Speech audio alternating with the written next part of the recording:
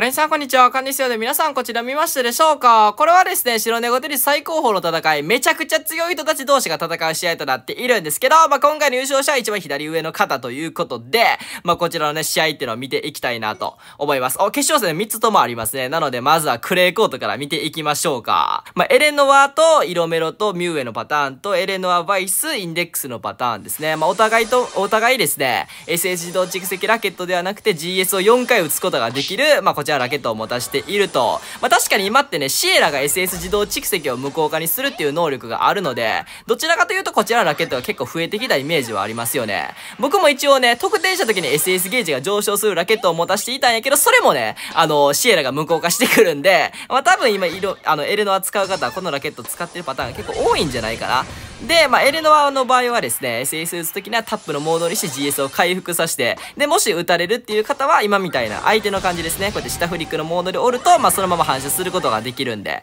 まあ、それで得点につなげたりする感じですね。はいはい。これで、おお、早っえ、何今の？エアモード？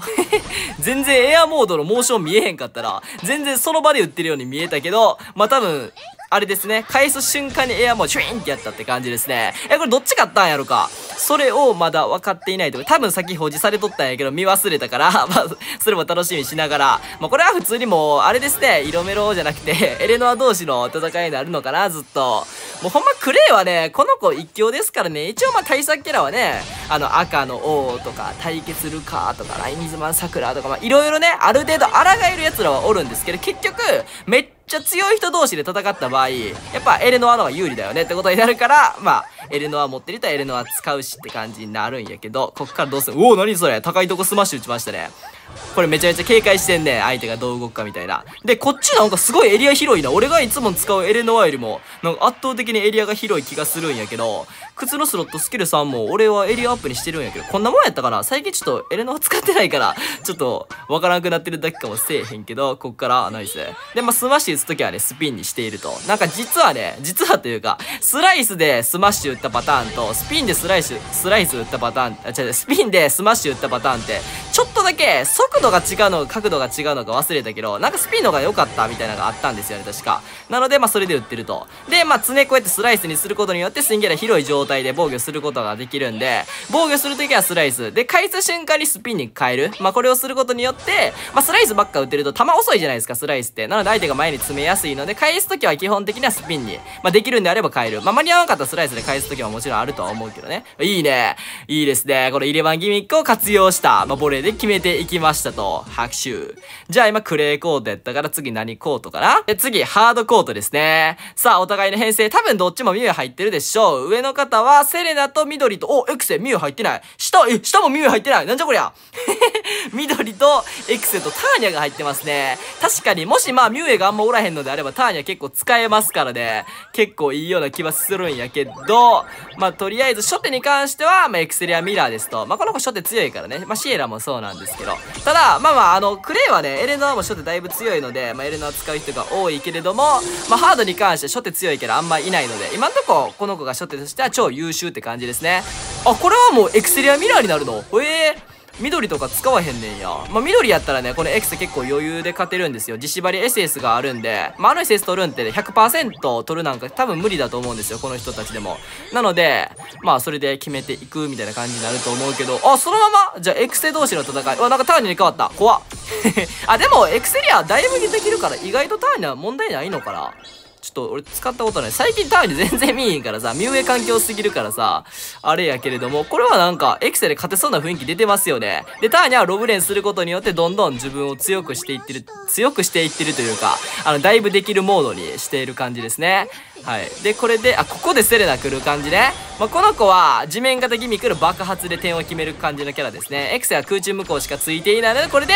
アナザーアクションボタンを押して爆発させるって感じだと思うんだけど、いつすんのやろ？これで？相手が SS 打ってからするとかそういう感じにするのかな？それとも、普通になんか得点できたらいいなみたいな感じなんかな？お、いいね。あ、これはもうこっち勝つんじゃない？だいぶ有利な感じになってる。ていうかまあ参戦やってるってことは多分そういうことでしょうと。はい。これで、あ、エクセに変えましたね。やっぱ、エクセでターニャ結構いけるっていう感じなのかな。じゃあ、まあ、初手も優秀やし、ターニャも、まあ、来た時に対策することができるしっていうのがあるから、割とエクセは入れとってもいいっぽいですね。この戦いを見るに。で、またエクセミラーになってますと。まあ、エクセリアはね、どっちも空中無効がついているんで、この、凍ることはないんですよね。なので結構不毛な戦いになる。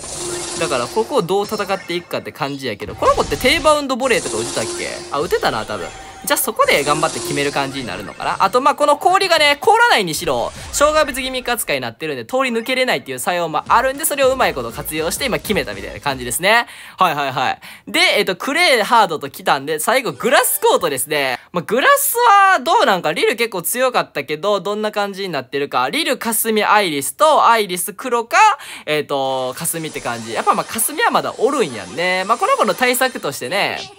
その青の王とかめっちゃ、まあ、あの、最強な対策やと思うけど、結局青の王って、まあ、結構他のキャラにも強かったりはするけど、霞の方が幅広く戦うことができるから、まあ、強い人は、あの、割と霞を使うことが多いですね。それで、まあ仲間にその青の王の対策、例えば多分、この人やったらアイリスを対策として使っているのかな多分そんな感じだと思うんですけど、これはもう霞ミラーになるのかなあ、惜しい。わ、これどうすんねやろな。俺やったらこれ、また別のキャラに戦うような感じはするけど、あ、もうこの人はあれですね。霞ミラーが得意な感じの人なんかないいね、これレフコス、ドカンってしていきますと。いや、俺霞持ってないからね、別に解説することあんまないんですけど。でもまあまあ、アラザアクションボタンを押したら、姿消したり、まあ表したりみたいな変えることができて、この姿が消えてる間は SS は飛炎ショットなんですよ。で、姿表してる時に打った SS は低バウンドなんで、まああの、相手が SS 直前にね、姿表し表してくるんで、まあ正直そんなね、あの、区別できないかなと思うんやけど、まあ一応表したらまっすぐって感じなんで、そこを警戒していく感じですね。で、相手が、まあ後ろから打った方がね、結構なんか決まりやすい打ち方あるじゃないですか。なので、まあ結構球長いこと帰ってこうへんなってなったら、大体、あの、SS 打つ、寸前にね、あの、姿を現して、まあ定番の列が飛んでくることが多いんで、まあ真ん中ら辺でスライスで待機するなどしたら割と、まあ取れたりはするんやけど、そこの裏を変えてね、あの、逆に後ろから飛炎 SS 打ってくる霞とかもおったりするから、そこが、それはそれで厄介なんですよね。なので、まあ、なんとは言えんねんけど、まあまあ一応、まあそういう戦法がありますって感じですね。で、お互いジャスト確定なんで、これで戦っていくと。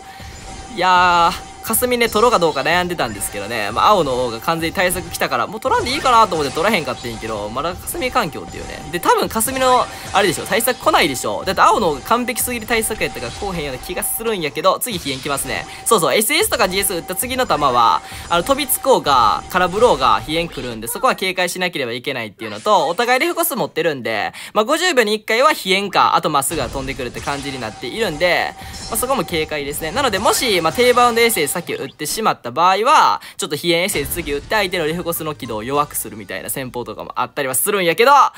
さあ、こんな感じでした。まあ、霞ミラーでしたね。クレイはエルノアミラー、グラスは霞ミラー。で、ハードは割とまあ織り交ぜながらって感じではあったんやけど、割とまエクセリアが使われていたみたいな感じになってるから、まあ、結構やっぱね、強い人たちの試合はね、結構楽しかったりすると思いますんで、まだ試合いっぱいありますんでね、ぜひそちらを、まあ、ご自身で見ていただけると面白いんじゃないかなと思います。ということで、また皆さんお会いしましょうバイバイ。ちなみにこの筆可愛いない？これ進化のレベルをね、あえて変えたらこんな感じ、色違い3つ作ることができるんで、よかったらやってね。ということで、バイバーイ。